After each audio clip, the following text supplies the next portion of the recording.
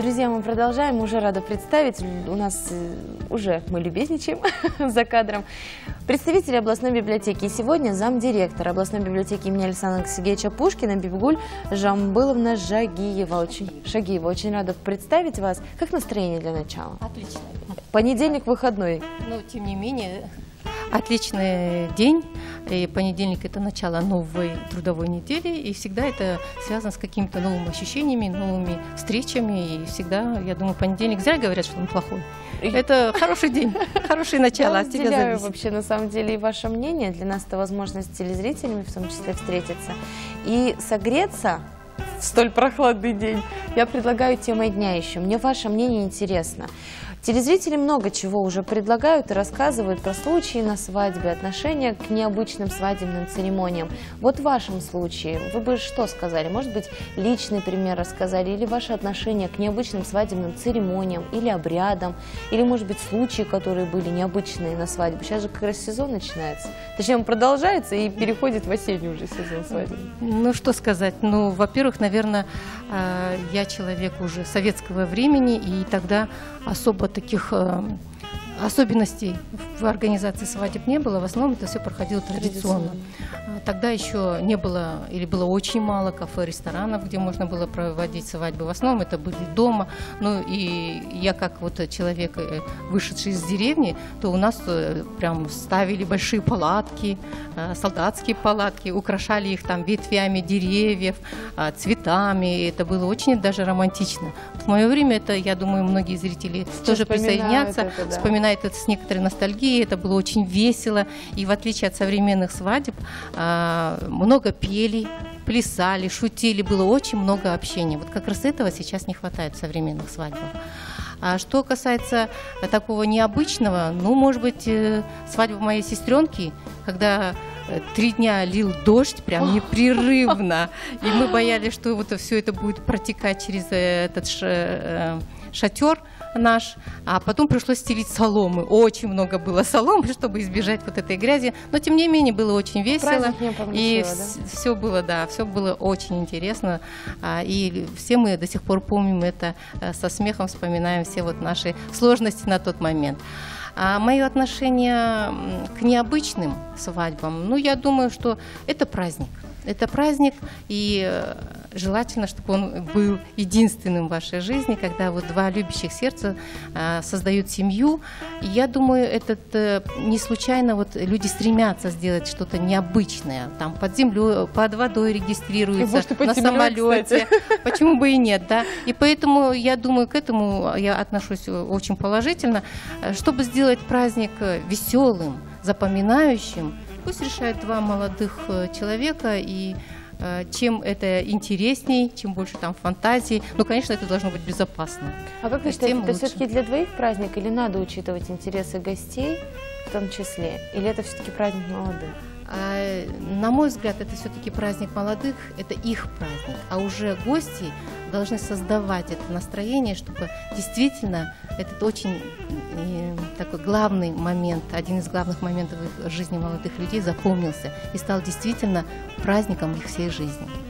Мне очень приятно слышать такое мнение. И думаю, телезрители сейчас действительно ностальгируют, вспоминая шатер, палатки, во дворе натянутые бесконечные песни до утра, гулянья.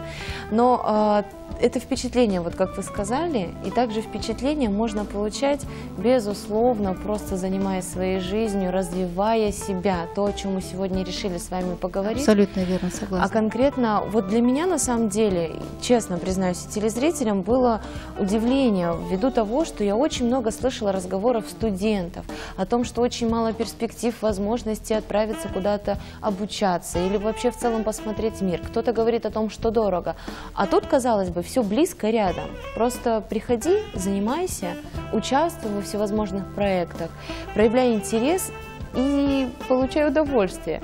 Творческие поездки по городам Америки. Что это было? Это была возможность э, у конкретных специалистов отправиться ли на получение квалификации, повышения ее. У студентов ли эта возможность была? Что это за поездки, с чем они связаны, что за программы здесь посодействовали? И почему Э, Америка?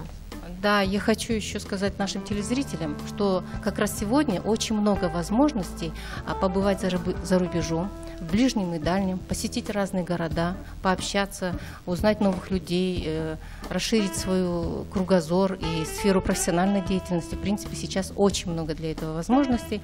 Но что касается моей э, поездки, то это связано с программой IVLP – International Visitor Le- Leadership Program. То есть международная программа а, лидерс- лидерства. И она обычно подразумевает разные темы. И для госслужащих есть, и для журналистов есть, кстати, и для других профессий. Вот я ездила по программе «Американские библиотеки». А, Я знала об этой программе не первый год. У нас уже были представители, и наша директор в свое время ездила по этой программе. И э, зная это, я сделала заявку за год до объявления этого конкурса. Но, в принципе, каждый год а, объявляется конкурс. Подала заявку в посольство США в Казахстане и а, рассказала вот в анкете, которая там прилагается, что бы я хотела увидеть. Конечно, я хотела увидеть американские библиотеки, а, как, они работают, какова их тенденции развития. Ну, вплоть до того, что какая у них мебель и какое оборудование. Все интересно. Человеку, который вот э, в своей профессии, я думаю, любой меня поймет, это будет очень интересно. И э, вс- в рамках вот этой программы все расходы покрывает посольство США, нач- начиная от консульских сборов, собеседований и завершая э, транспортными расходами, проживанием, питанием и так дальше. Э, Поездка длилась три недели. Мгм. За это время мы побывали в шести городах. А, Вашингтон, а, небольшой городок Каламазу, 75 тысяч жителей, э, Кливленд, это штат Огайо. Дальше мы побывали в Чикаго, приняли участие на конференции Американской ассоциации библиотекарей, а, Бостон и завершили поездку в Нью-Йорке, где посетили Нью-Йоркскую публичную библиотеку. Вы писали определенные цели, желание посмотреть изнутри вообще механизм работы библиотек за рубежом. Какие остались впечатления? Что вы для себя, ну скажем так, сделали такой важной заметочкой, чего не хватает, допустим, в нашем, может быть, обслуживании библиотеки, может быть, э, в насыщенности библиотеки какими-то Ну, конкретными я бы, например, книгами, может быть. мои вот если первые впечатления, Анна, то я э, просто была поражена. Поражена, шокирована а, тем, э, как э, просто состоянием библиотек. Вот эти библиотеки это как храм. Вот заходишь как храм, это расписные потолки, это расписные витражи, это красивая мебель, это огромные площади. Вот наша библиотека площадь 4000 квадратных метров, в 10, в 100 раз больше квадратных метров. Вот такие огромные величественные здания. И нет э, стен. То есть идешь, вот э, заходишь на этаж. То есть огромный холл, можно, да, холл, сказать? полностью холл, например, посвящен, первый этаж посвящен э, технологиям. Там и компьютеры, и сканеры, и, а, кстати, э, даются в некоторых библиотеках э, на прокат даются э, ноутбуки. А, Я не говорю про вот э, для пользования. 4 часа, 5 часов ты будешь про- пробудешь в этой библиотеке, ты можешь пользоваться ноутбуком э, этой библиотеки. Затем э, то, что отработал материал, сбрасываешь себе на электронную почту, сдаешь ноутбук и спокойно идешь домой. То есть э, настолько комфортные условия созданы. На втором этаже, скажем, э, это полностью огромный весь этаж, без перегородок, без ничего, он э, предназначен для детей. Дети разного возраста, и с родителями, и с друзьями, и так дальше. Начиная вот от грудников, которые приходят на какие-то чтения, и завершая вот подростками. А дальше идет третий э, этаж, полностью посвящен ну, художественной литературе, скажем так, и так дальше. То есть каждый этаж – это вот целое эм, э, пространство, где все доступно. А, Хотелось бы еще отметить, что м, биб- э, американские библиотеки все услуги предоставляют бесплатно. Но да- надо отметить, что у них очень хорошее финансирование. А, Там есть три э, уровня финансирования. Это первое, значит, федеральный бюджет американских Соединенных Штатов, да. Дальше а, ш- э, бюджет штата конкретного, либо это Мичиган, либо это Огайо, либо э, другой какой-то штат, да. А Дальше местный бюджет еще из местного бюджета, либо это частные пожертвования. Причем хочу отметить, что есть еще библиотеки, которые полностью независимы. То есть а, а, местные жители на своем сходе, это если по-нашему сказать, то вот они собирают референдум и решают, а, что содержать будут библиотеку за какие-то свои собственные средства.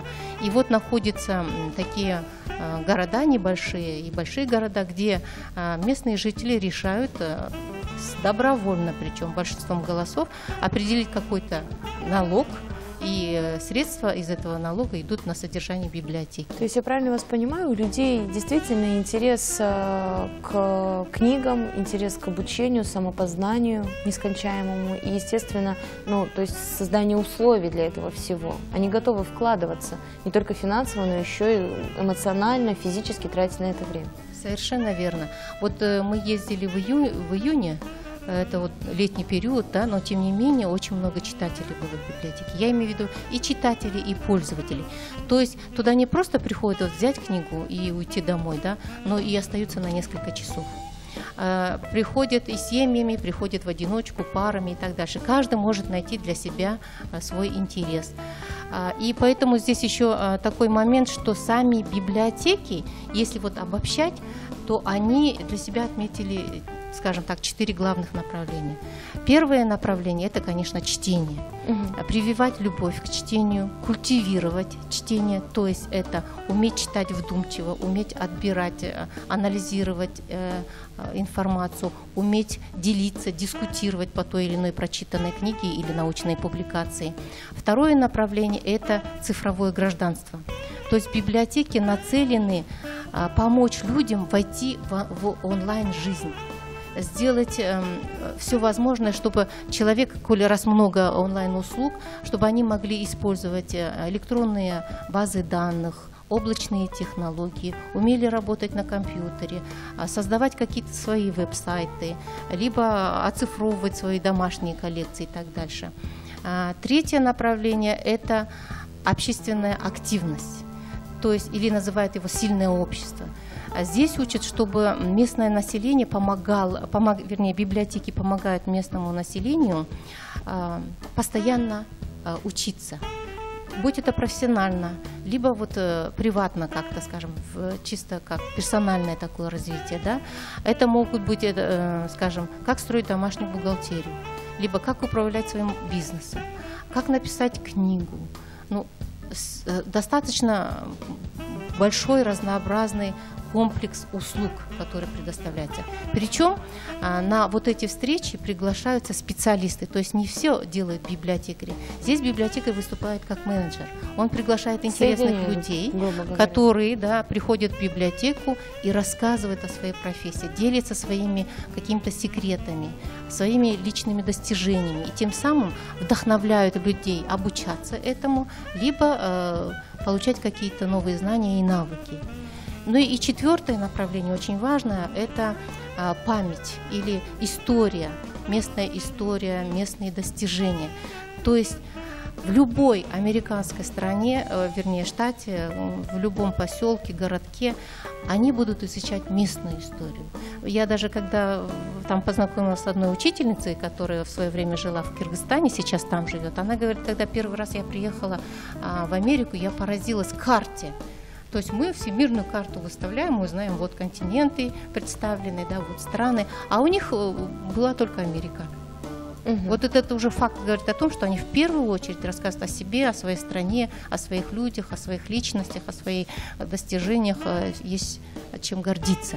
И вот точно так же в каждом э, городе у них есть отдельный проект, это местная история.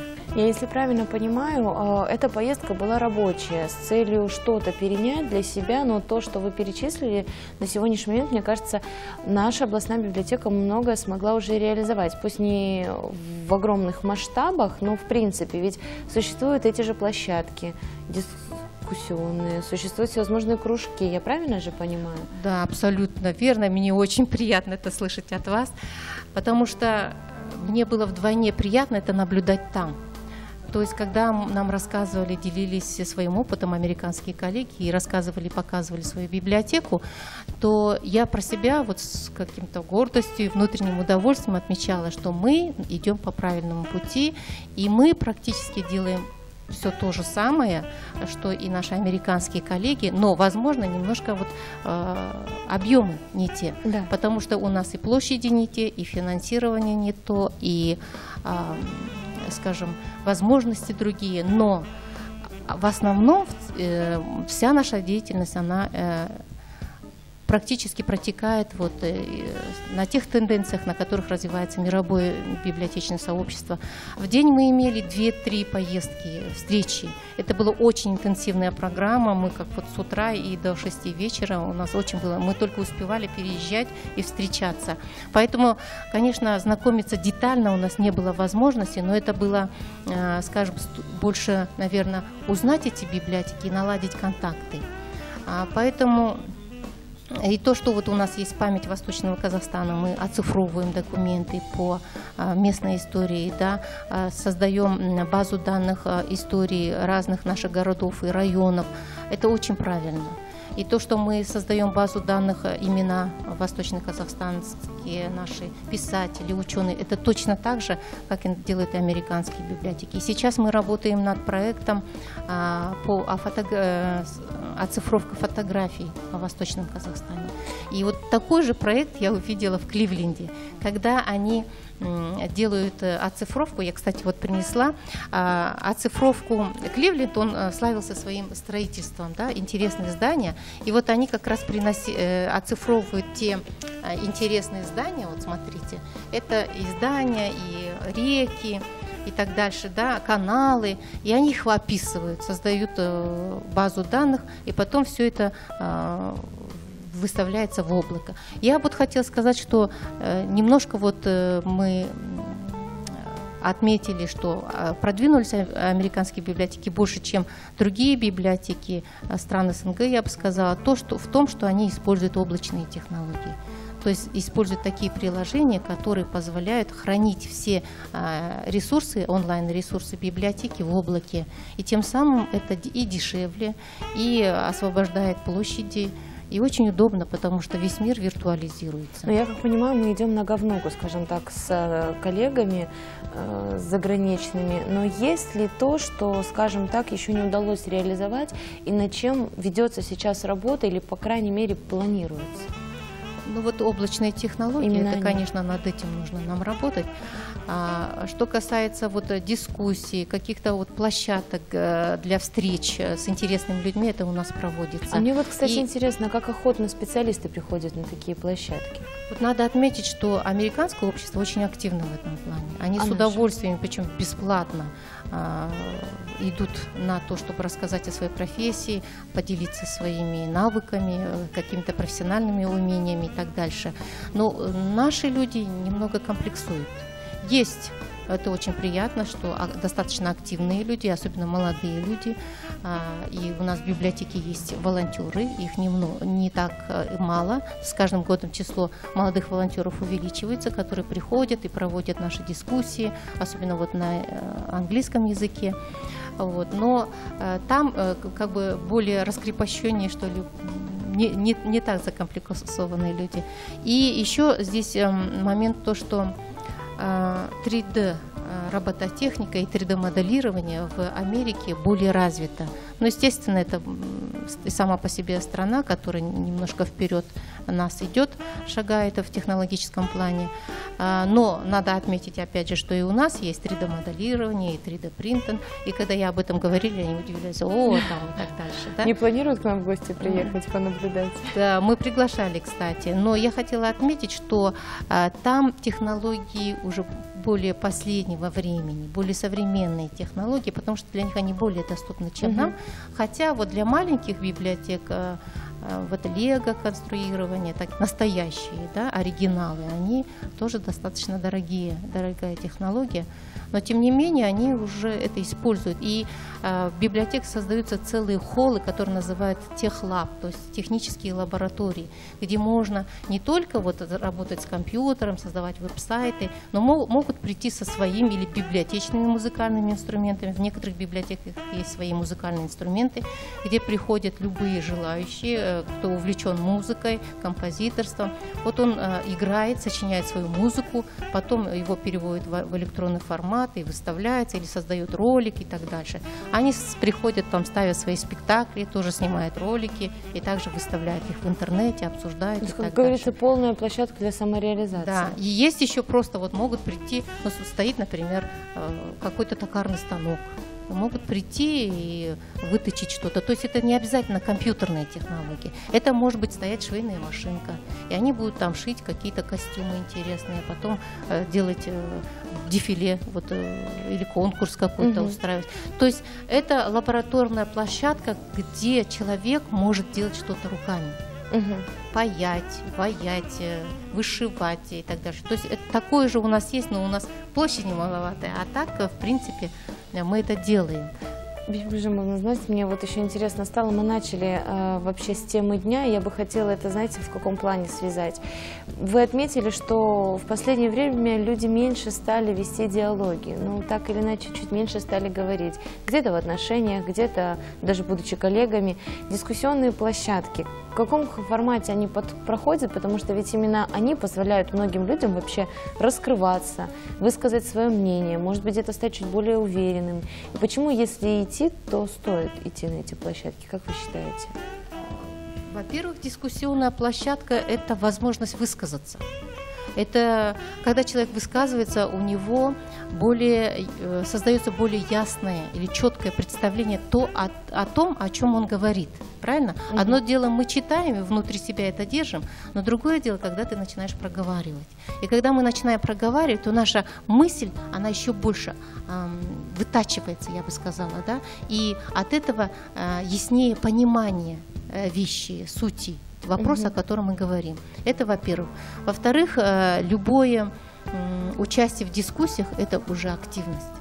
Это повышает гражданскую активность, это повышает э, твое э, участие в решении каких-то вопросов, жизненно важных вопросов, потому что не во всех э, Э, ну, наших житейских делах да, а должно и могут участвовать наши местные власти. То есть их может не хватить на решение каких-то проблем, и это должно решать местная общественность. Ну, тот же КМС, тот же двор, да, или дом, в котором живут это жители, мы должны сами эти вопросы решать. В этом плане, конечно, наши неправительственные организации достаточно активные, вот в Уским-Нагорске, в Восточном Казахстане, mm-hmm. я знаю, но тем не менее нужно, и, эти дискуссии как раз позволяют активизировать людей. Чем больше ты высказываешься, тем а, больше а, будет развиваться твоя активность. А затем от слов переходишь к делу, потому что ты предлагаешь идеи, или другие предлагают эти идеи, которые хочется реализовать. Я а, вас а реализация – это изменение ситуации, а изменение ситуации – это улучшение жизни однозначно. Поэтому э, очень важно проводить дискуссии. И я бы тут хотела сказать, вот как раз одно из направлений, которое я говорила, это сильное общество у угу. американских библиотек. То есть а, помогать местному сообществу создавать сильных людей, сильное сообщество, де, проявлять какие-то действия и так дальше. Но и я хотела бы отметить, э, что мы были на конференции Американской ассоциации библиотекарей и были в штаб-квартире Американской ассоциации библиотекарей, АЛА мы называем его, встречались с представителями. Это очень сильная организация, она объединяет более 50 ассоциаций и 26 тысяч, по-моему, членов в том числе не только физические лица, но это организации тоже целые. И она занимается как раз вот этой лоббированием библиотечной политики. Они имеют своих лоббистов в парламенте правительстве, которые знакомы с библиотечной деятельностью. Некоторые работали в той же ассоциации американских библиотекарей, поэтому они очень активны. И они пом а, помогают вот, а, принимать правильные нормативные документы, законы по библиотечной деятельности, строить библиотечную политику. И вот одним из свидетельств э, силы этой организации это то, что одним из главных партнеров является Google. То есть они участвуют, э, такие сильные американские библиотеки, крупные, участвуют в проекте а, Word, а, Word Books, то есть оцифровка а, книг и выставление их э, в полной версии в бесплатном доступе. И как раз Нью-Йорк, Нью-Йоркская публичная библиотека, она вот уже э, оцифровывает и выставляет в полном доступе с, с помощью Google книги общественного пользования. Я вас поняла. Вот знаете, ввиду того, что программы различные представ, представлены, в том числе и от вашей библиотеки, я бы хотела наше интервью завершить вашим, наверное, пожеланием и рекомендациям. Кому стоит воспользоваться данной возможностью? Кому стоит воспользоваться программами, которые представляет библиотека благодаря сотрудничеству вот, э, с другими странами? И уже, я думаю, понятным стало преимущество этого всего процесса? А, ну, во-первых, то, что наша библиотека, вот э, называют ее массовой библиотекой, публичной библиотекой, вот сам тип говорит за себя. То есть сюда могут прийти все, независимо от возраста, независимо от профессии, независимо э, от интересов и так дальше. Здесь можно научиться всему. Если человек любознательный, он найдет свою нишу, нишу для своих интересов. Если он не может что-то вот как бы почерпнуть, он может это дать. То есть всегда есть возможность для диалога, для общения, для сотрудничества. Он может найти э, единомышленников среди читателей, среди э, специалистов библиотеки. Мы всегда открыты к идеям наших читателей, наших пользователей.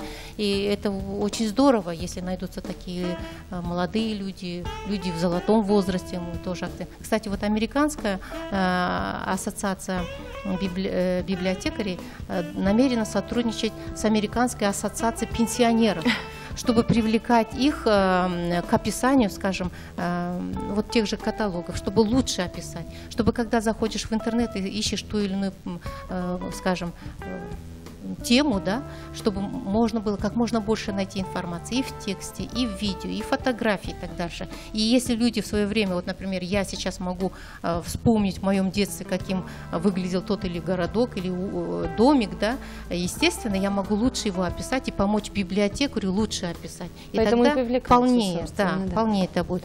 Привлекают к переводу, э, Э, к, к, даже к продвижению через свои аккаунты в социальных сетях. Это тоже вот читатели, пользователи библиотеки могут э, своими впечатлениями об услугах, о качестве этих услуг, своим предложением, как бы они хотели видеть те или иные услуги и ресурсы библиотеки, они могли бы это продвигать э, в социальных ну, сетях. Для всех. Да, конечно, безусловно. И это как раз делается в американских библиотеках. К этому стремимся и мы. И надо сказать должное, что наши читатели читатели достаточно активны, и это радует. Хочу, пользуясь случаем, поблагодарить всех наших активистов, э, всех наших эм, волонтеров за вот такое сотрудничество, за партнерство.